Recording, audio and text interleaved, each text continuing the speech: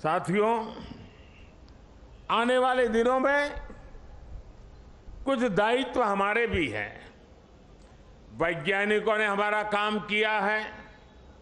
Satellite हो, चंद्रयान की यात्रा हो, सामान्य मानवी के जीवन में इसमें इसका बहुत बड़ा प्रभाव होता है। और इसलिए इस बार मेरे देश की युवा शक्ति को विज्ञान के प्रति रुचि बढ़े, टेक्नोलॉजी के प्रति रुचि बढ़े, हमें इस बात को आगे ले जाना है।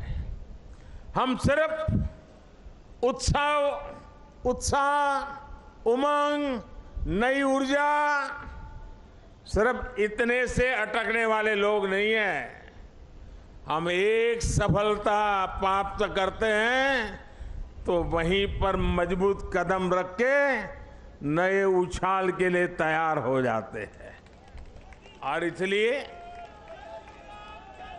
गुड गवर्नेंस के लिए लास्ट माइल डिलीवरी के लिए सामान्य मानवीय की ज़िंदगी में सुधार के लिए ये स्पेस साइंस कैसे काम आ सकता है? ये सैटेलाइट कैसे काम आ सकते हैं? ये हमारी यात्रा कैसे उपयोगी हो सकती है? उसको हमें आगे बढ़ाना है।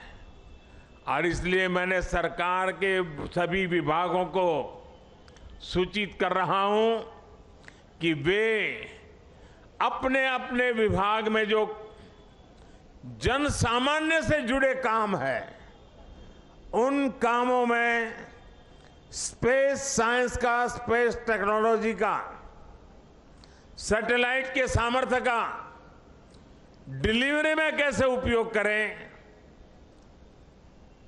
क्विक रिस्पांस में कैसे उपयोग करें, ट्रांसपेरेंसी में कैसे उपयोग करें, परफेक्शन में कैसे उपयोग करें, उन सारे बातों की ओर वो अपनी समस्याओं को खोज के निकाले।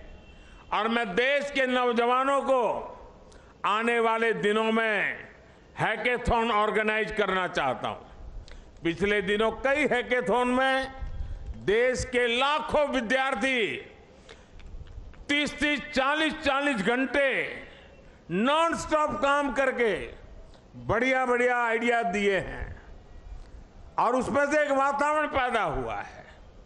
मैं आने वाले दिनों में ऐसे हैकेथॉन की बड़ी श्रृंखला चलाना चाहता हूँ, ताकि देश का जो यंग माइंड है, यंग टैलेंट है, और जो जन सामान्य की मुसीबतें हैं, इसके सॉल्यूशन के लिए ये स्पेस साइंस, सैटेलाइट से टेक्नोलॉजी, उसका उपयोग करें, उस दिशा में हम काम करेंगे।